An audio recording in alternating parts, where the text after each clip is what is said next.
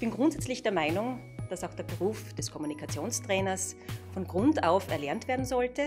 Und der Meisterbrief sozusagen, das ist dann unser Diplom. Vor 23 Jahren habe ich äh, das Unternehmertraining bei der Wifi besucht und dort hat ein ganz ein, ein cooler Trainer das Kommunikationstraining gemacht und das hat mich voll inspiriert und nie mehr losgelassen und habe gewusst, irgendwann muss ich es tun. Meine persönliche Herausforderung, das war die Gruppendynamik. Da habe ich mich überhaupt nicht ausgekannt vorher und ich habe in dem Kurs gelernt, zu, herauszufinden, wo ich in Gruppen hingehöre, wo mein Platz ist, wo ich mich wohlfühle und wo ich im Leben dann glücklich bin.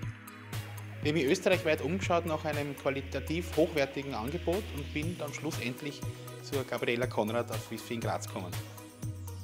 Ich wollte schon immer Trainerin werden und da haben wir gedacht, wendest du dich an die erste Adresse im Bereich Erwachsenenbildung. Und so habe ich auf der Homepage des Wifi Steiermark diesen Kommunikationstrainer-Lehrgang gefunden. Als Trainer ist es nicht nur wichtig, viel zu wissen, sondern das Wissen entsprechend zu verpacken. Dass das Seminardesign teilnehmerorientiert ist und dem Wissensstand entspricht. Außerdem ist es wichtig, Gruppen zu steuern und rangdynamische Prozesse zu berücksichtigen. Was ich in dem Lehrgang vor allem gelernt habe, meine Lehrinhalte so zu strukturieren, dass sie, dass sie für meine Teilnehmer pointierter und konkreter geworden sind. Und dadurch ist, ähm, ist das ganze Ergebnis jetzt auch für mich messbarer und überprüfbarer geworden. Was sich für mich wirklich verbessert hat, das war, ich habe eine riesige Range an äh, Methoden, Ideen und Themen.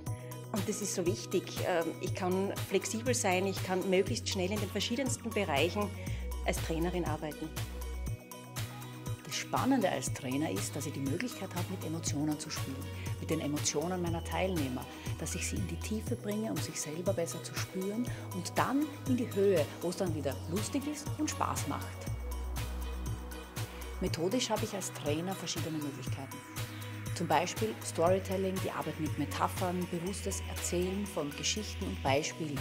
Die setze ich so ein, dass ich für das Unbewusstsein meiner Zielgruppe entsprechende Wirkung erziele. Oder Fragetechnik.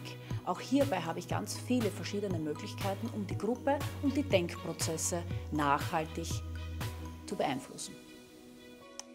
Mein persönlicher Wesenshorizont hat sich derartig erweitert, durch die ständige Selbsterfahrung und Reflexion mit den anderen Teilnehmern. Und ich finde das so wichtig, weil ich der tiefsten Überzeugung bin, dass nur ein Trainer, der sich selbst in- und auswendig kennt, professionell mit seinen Teilnehmern umgehen kann. Ich habe viele Ausbildungen gemacht. Diese Ausbildung kann ich mit vollem Herzen weiterempfehlen.